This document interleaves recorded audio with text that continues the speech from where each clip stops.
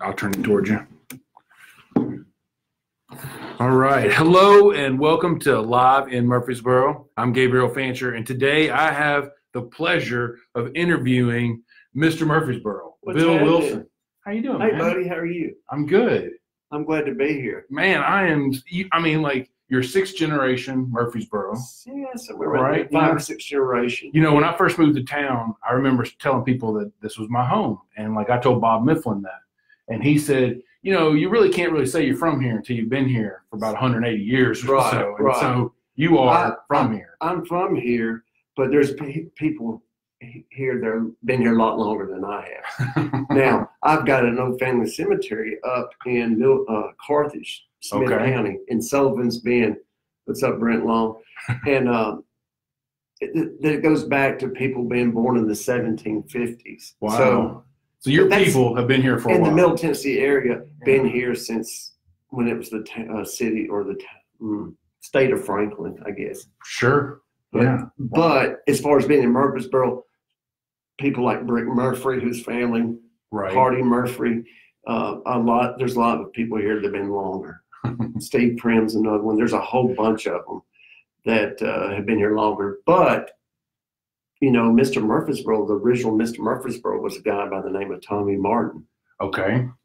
and he was a big business leader around here. He worked, and some of y'all might know Hunter McFarland. That Hunter and Dr. Bryn Martin, who's a history professor, or he's a doctor of history over at MTSU, who I grew up with.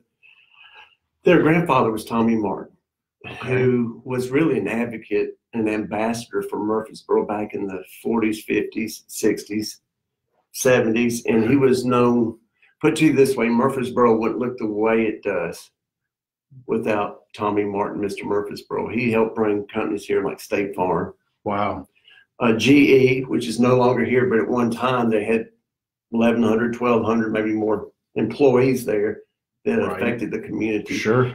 Um, Chromalox, which is right right across the street here, the Boys and Girls Club used to be Chromalox where I worked one time, and I worked at GE. Oh, wow. But um, anyway, he he helped bring companies like that, and he was known from you know he was known as he was literally known as Mr. Murfreesboro because the city council Declared ordained him. him Mr. Murfreesboro.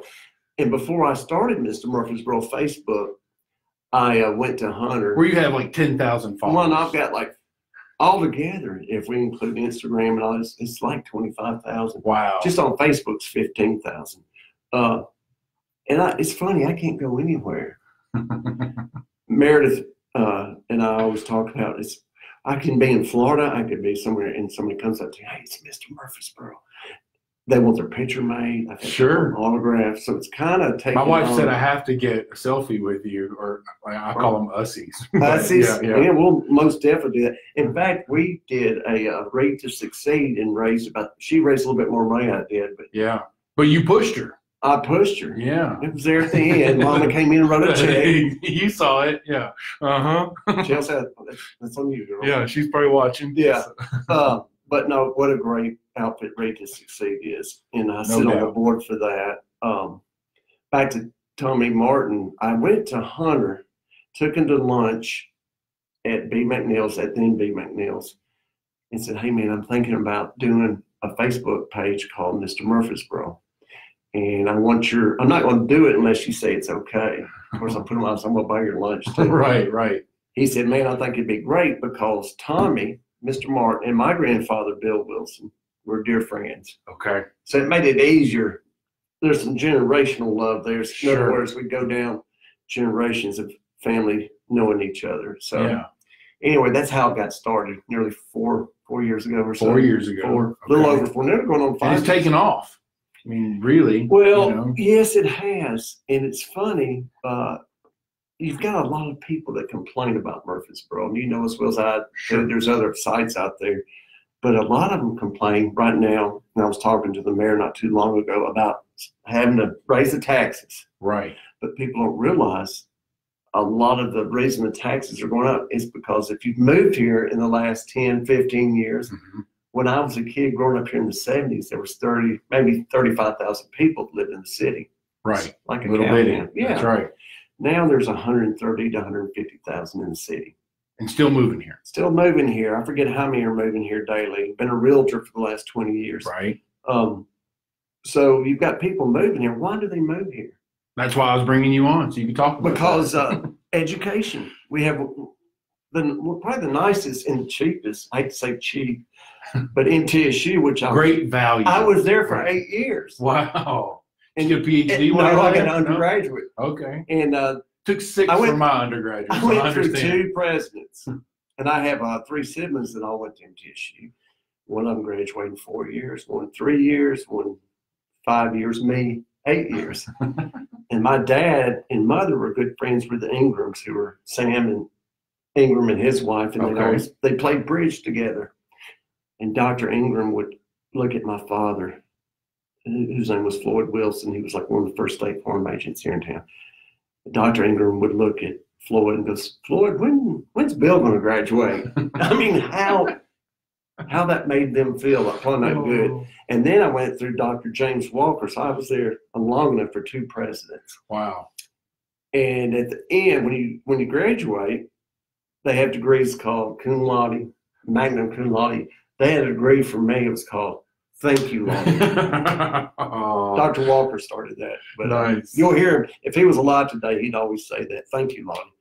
For and he's who the who- library's named after, right? uh, the James Walker Library. Yeah. I believe so. But Yeah. you know, going back to why people want to live in Murfreesboro, we have a great school. I think it's a, a variety of things. It's our we have so many different types of people. hmm If you want to, uh, I mean, we've got all sorts of we got great schools, public schools, private schools. You're not too far from Webb.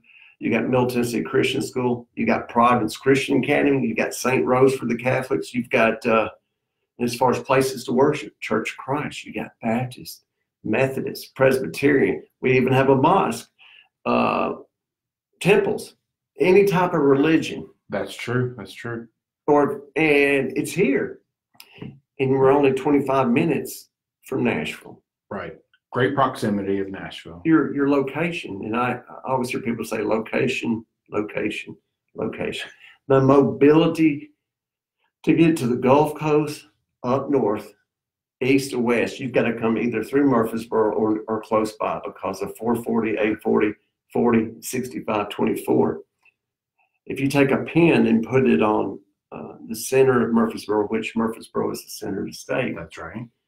You draw a circle around Murfreesboro and go 500 miles. I learned this from the Chamber of Commerce. Shout out to Stephanie Brightman, my son's mother. Anyway, you go out 500 miles, go around the circle around Murfreesboro, and you're within a day's drive right. of 75% of the U.S. population. So schools, mobility, places to worship, uh, places to shop. I mean, uh, recreation. You're close to lakes. Uh, you're it's the cost of living is not much, you know, not much, but uh, the people who live here that complain are the ones that moved here the last ten or fifteen years about the traffic. sure. Because when they when they moved here, it was a secret. it was a secret, right, kind of like yeah. Beech Grove, Tennessee. Everybody wants to be the last one, Yeah. you know, to the door. Yeah, but they were the ones that complained, and the reason they had to raise the taxes is because the ones that moved here. I mean, but why Sure. are you moving here if you don't? I'm a realtor, by the way. If you want, if you want right. to move out, Yeah. but uh, I love Murfreesboro. It's been good to my family. Have you ever been tempted to leave? I lived in Hilton Head, South Carolina, one summer Okay. because of a bad relationship, a bad breakup. I had to get out of town. All right. Well, the it, they They were you off, I had to I had to leave. No, I'm just kidding. but uh, I have not. You know, my girlfriend. She lived in New York City for six years, and coming back home, where she's from, Yeah. her family would be like probably hitting the guts. Like, wow, you know, I'm moving back to Murfreesboro, but really. I call it a Norman Rockwell town. We have the history of the Stones River battlefield, the, the Battle of Murfreesboro. A lot of people don't realize it was the seventh bloodiest battle of the of the Civil War. Yeah. And There was and nearly like hundred thousand troops here. bloodiest man. hours of the Yes. Civil War. right? Yes, I forget what the Very ratios intense, were, yeah. but there was tw- nearly twenty-three to twenty-four thousand casualties. They didn't all die. There was like five or six thousand deaths hmm where the avenue is, Right. where the hospital is. of course, the battlefield's I think four to six hundred acres. Really, it sat on about twenty five hundred acres, something like that. And I may be Right. wrong. Jim Lewis can correct me. Where New Vision Baptist, where I go to church, that was a part of the battlefield. Mhm. Um, so it was the decisive battle. Lincoln. People don't realize this. President Lincoln was the South was kind of kicking the North's butt. They're up there now. You know, the, the, the first few battles, the South was kicking butt and getting north towards Washington. Lincoln was like, man, we got to get a win. We got to have a W here. It's not looking good for the home team. It started, people can argue that the, the, The war turned. the war, war turned at the Battle of Murfreesboro. After the Battle of Murfreesboro, went on to the Tullahoma campaign through Chattanooga, and then Sherman's march to the sea through Atlanta, Sure. where they just went and burnt everything. right, right. And I've got a lot of friends. Luckily, I had a great great grandfather. A it was, it was A.P. Um, Altman who fought out of Arkansas. I've got his picture, his role, and then I had a Wilson on my dad's side, a great great who fought out of Kentucky. People think just because you're Kentucky, you're from the South or Mississippi. There there were soldiers who went from Mississippi who fought for the Union. That's right. People Sure. don't get that. No. They so don't. they kind of deserted their homeland, and slavery is wrong. Slavery is wrong. It's always been wrong. I mean, it's biblical, and we're all enslaved to something. Whether you're in recovery, not recovery, Amen. If you're addicted to pills or whatever, we're all enslaved to something. So, but my point is, slavery's wrong. But a lot of the Southerners said, "Hey, it's states' rights. Why are these Northerners coming down here invading us?" Well, you could. It was over slavery, but it's also some states' rights involved there, and um, Banking issues. I mean, Oh, there there's was a whole. bunch. You don't go to war over just. we had the thing, generals. you know? The South had the generals, and I always told people that I was going. I'm I'm a winner. Okay, nothing, and I'm not a trumper or whatever, but I would. Being I had both sides of the family, and they actually fought against each other at Shiloh and Chickamauga. So I had they fought. Brother against brother. Well, it was my great great grandfather on dad's side, great great grandfather on my mom's side. They fought Oh, at wow. Shiloh, which is a, bu- a bloody battle Mm-hmm. in Chickamauga. So, you know, it unfortunately there's a lot of people in the South who still think it's going. I mean, there are people who there's a lot of prejudice, and you know, it's time. I think it's time for this nation to heal, even with all, everything that's going on. We're a divided nation. Let's just face it. And you can argue both ways. What is right is right. What is wrong is wrong. Um, but the Battle of Murfreesboro was the beginning of the end for the South. Sure. to, on to uh, Tullahoma and the Battle of Hoover's Gap. What a, it was just like a skirmish. But the first repeating rifle in the history of warfare, the Spencer repeating rifle was used off exit 97 at Really? the corner of Coffee, Bedford, and Rutherford County. Uh, yeah, Hoover's that. Gap. Yeah, Wow. there's a guy from Pittsburgh who spent his own money and gave, well, he, he gave his own money and time and came up with this uh, a Spencer repeating rifle. Because think about it, when we first started as Minutemen, and this is for all the guns rights people. You had, it took a minute. What do they call them? A minute. It took a minute to load the darn thing. By the Sure. time you're doing this, you're getting shot between the eyes. With the Spencer repeating rifle, they put a cartridge with either, I don't know how many, if it was seven bullets, 12, 14, but they had a cartridge and you could fire just instead of having to reload minie ball, gunpowder, all that stuff.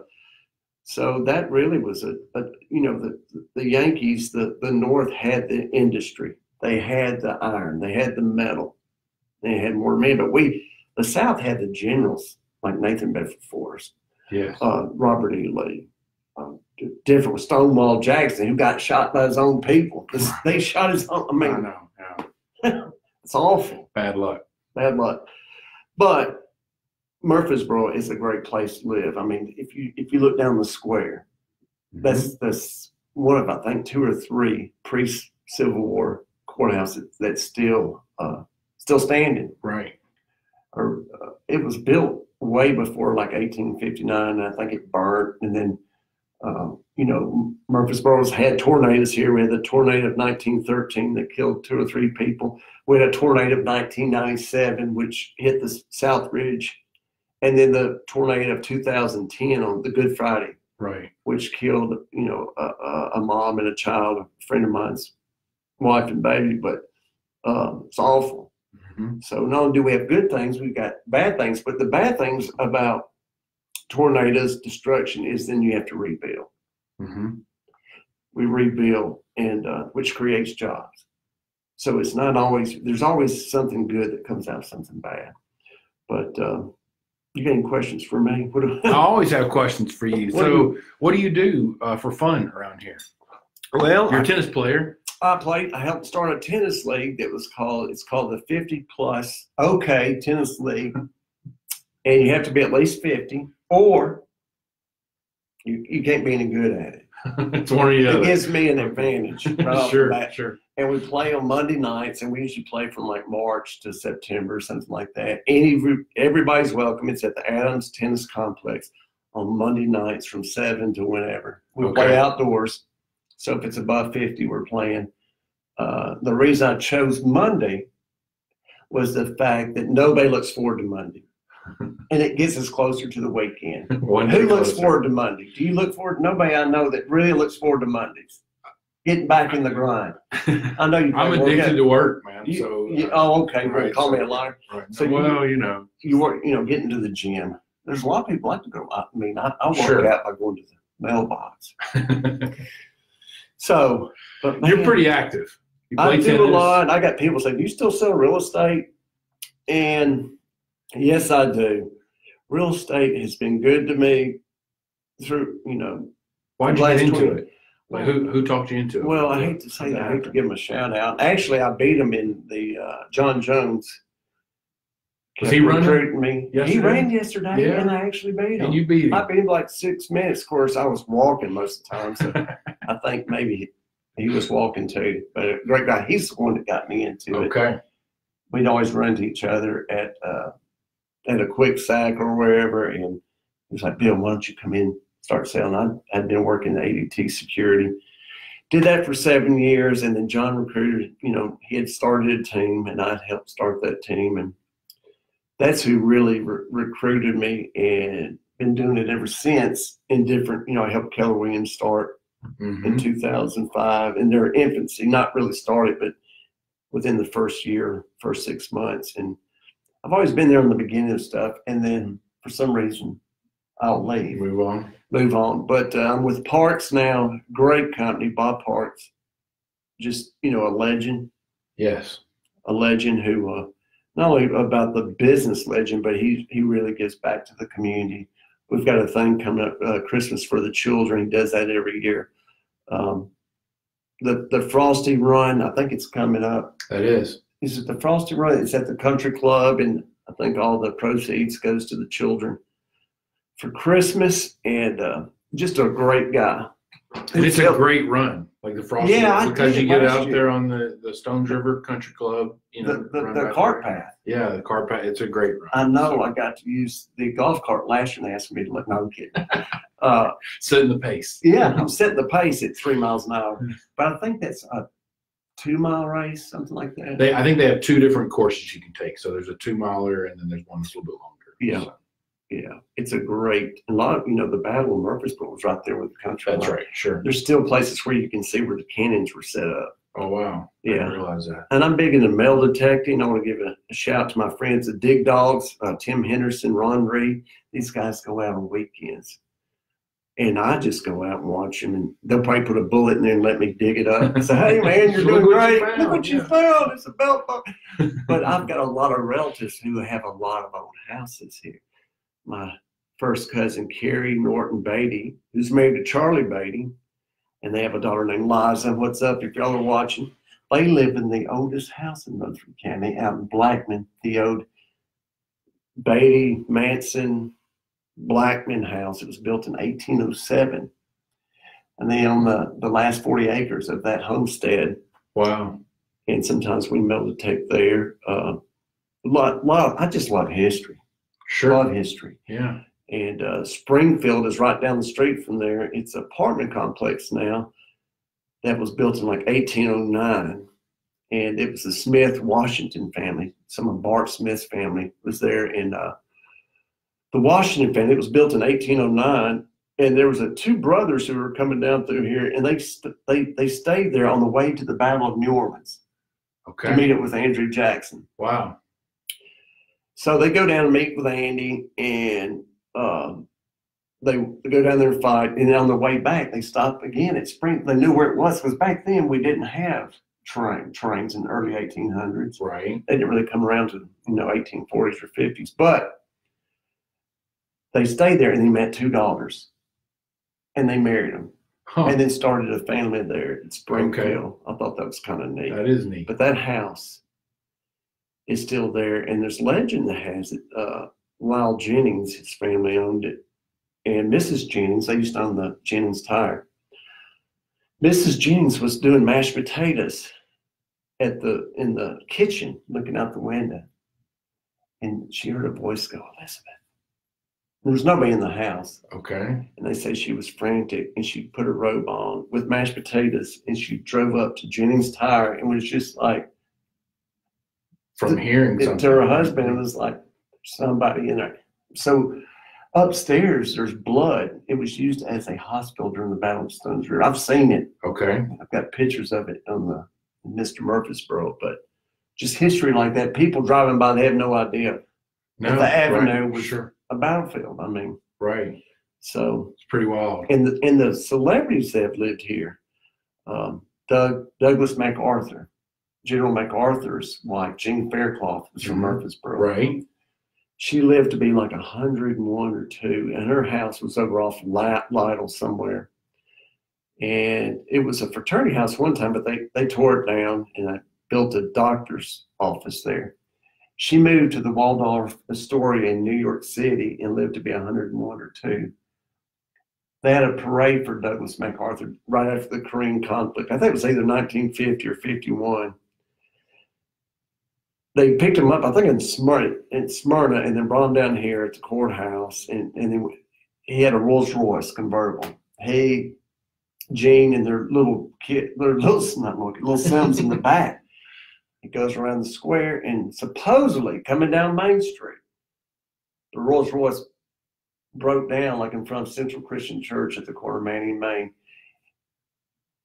Old MacArthur wasn't too happy. You know, he'd been under fighting the Sure. Filipinos or the Ch- Chi- Chinese or whatever, but he had subordinates and people pushed that Rolls Royce down Main Street over to some parking lot somewhere over at MTSU. He gave a speech over there at the football field, and then, I mean, who whoever thought that that the general would be here, and then his car break down. I thought that was sure. fun. And then supposedly uh, Judy Garland's family, the Gumms from out Manchester Highway, Dorothy from Wizard of Oz. Wow. Yeah. Yeah. But I grew up here, man. I grew up in the 70s. Like I said, it was like 30,000 people, and now there's 130,000. So Murfreesboro really has been good to my family. My mom's family were farmers, educated farmers. Mhm. My dad's family was very poor, but they were hardworking. Um, granddad was a sheriff in the 50s and the 60s, and he was a road superintendent in the 70s. And dad was like the chairman of the county court, which later would become the county executive, county mayor in the late 70s, early 80s. So as a kid, I grew up at the workhouse, the courthouse, and the jail. And I was the kid going around door to door saying, hey, vote for my dad, vote for my granddad. Sure. And that's where I became a salesman. As And a, you you studied political science at at MTSU. How, how come you've never gotten into? Well, you, have you run for anything? I have not. I, couldn't run, find no. record of it. No, I haven't run. I, you know, I've thought about it, but man, I just like being on this side of it. You like to be a journal. I'm not a journalist. I like telling stories. Sometimes they're true. No, but they, try to be true. And I, I always, you know, it, it's just everybody has a story. Whether you're in Sure. the White House or you live under a bridge, Mm-hmm. there's a reason you got there. So, but everybody has a story. You know, it doesn't matter if we're Republican, Democrat, Libertarian. you're, if you're white, you're black, you're a man, you're a woman, you're a shim, whatever. Um, everybody has a story, and you know, I think we're all children of God. And then People forget that. Yeah. Right? I think uh, in this in the political environment we're in now, people forget that sometimes, and that's a shame. like Elvis used to say, Gabriel, you would uh, Who Elvis, stayed in Murfreesboro? who, yeah, and I saw him in concert when I was nine. Wow. He didn't give me a scarf. I didn't ask for one, but uh, you know, I uh, it's just amazing. El, El, yeah, Elvis stayed here. He had a recording studio out Salem Highway Oh, I didn't know that. where Brother McCullough's a house. It was called Boxwood. Okay. It was a pre-Civil War house, and there was a pool house over there. And I used to go out there when I when I was younger. Brother and I hung out a lot, and we double dated, and we go out to his house. And uh, Elvis supposedly recorded some music there, and it was through the Perrymans who owned. Who, I don't know if they owned WGNS or they had something to do with WGNS, and they would uh, they helped bring Elvis here Wow. and they moved to Texas. And I think they passed away not too long ago. But he had a studio, and Elvis, yeah, he would come to Murfreesboro, and people probably didn't know it, other than if you saw him on stage. Sure. But he was also coming here to do some recording and stuff like that, Wow. hanging out. But um, you know, it's Murfreesboro is a great place, and I can't say any, anything bad about it. People complain about the roads. That may be one thing, but you know, we could be it could be Detroit, it could be some other city that doesn't have the jobs, That's right. and that's what drives the economy is the is the jobs. But you know, maybe we'll get some more jobs here, uh, white collar jobs. I mean, I always think, well, where would we be without Nissan? Where would Rutherford County be? We Wouldn't be Wouldn't be Rutherford where we- County. exactly.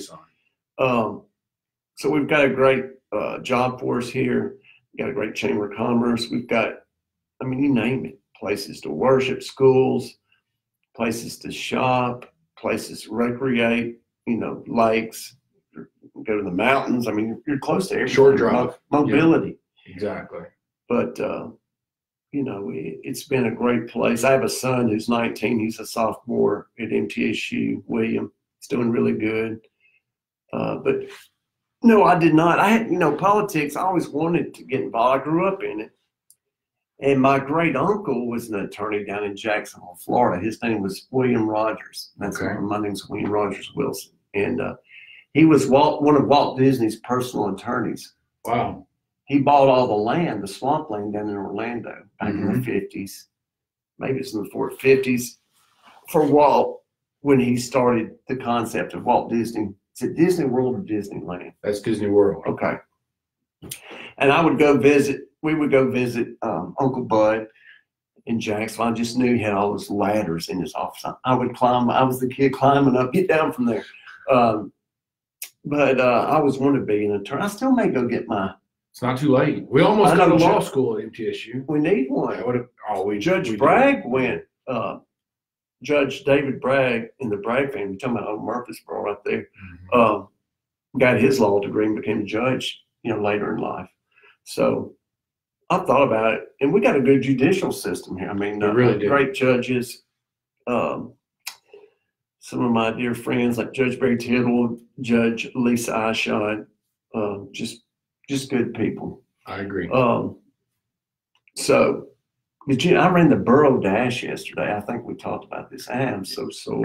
and then ran in the 60th. I played football in the 60th annual annual Turkey Bowl against like 30 year olds, and there may be some younger ones, but I am not a whippersnapper. a, little, a little worn out. I'm sore. I'm probably gonna have Sure. to rotator cuff surgery. But man, I need to have you. You know, I co-host the Edwin Lee Raymer show. Right. I wanted to Sunday plug nights. that. Yeah. I And uh, listened to Ed, that. if you're listening, here's our next guest, maybe Sunday night. But uh, we we have a big time. We have uh, we've had Grammy Award winners. You guys have some really good people come on that show. Man, we have we've had authors on, speakers of the House, people, governors. We've had people running for governor. We've had uh, you name it.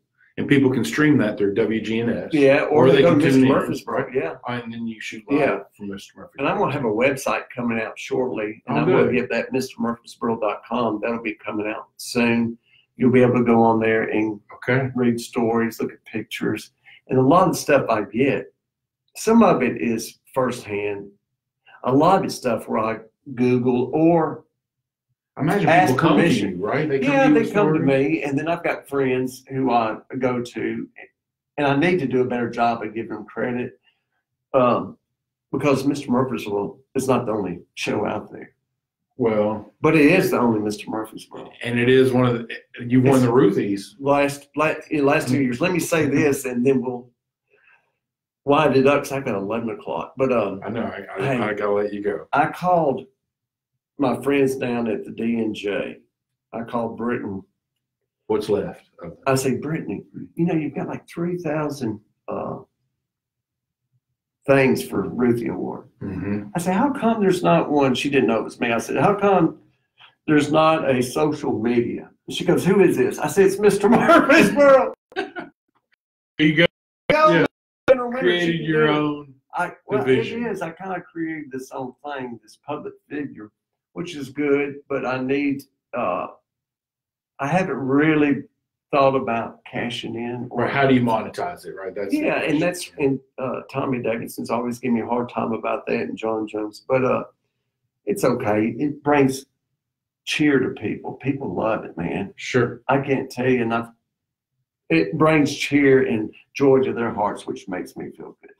So, anyway, there you have it, man. Man, I really appreciate you coming in, spending time with me. I've learned a lot about Murfreesboro, and you know, I've been here a little over ten years now. So I'm one of those recent cutting, you know, people. I'm one. I'm one of Where those did guys you originally come from? I'm from Kentucky originally, My grandmother was born in Mayfield, Kentucky. Mayfield. That's west.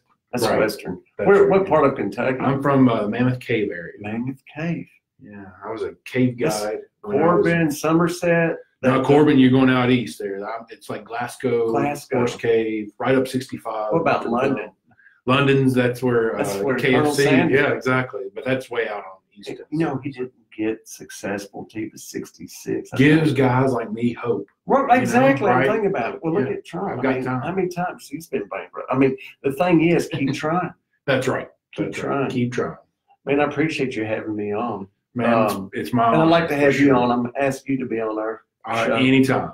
All Just right. let me know. Thanks, brother. Thank you. God bless you. Thank you. Appreciate that.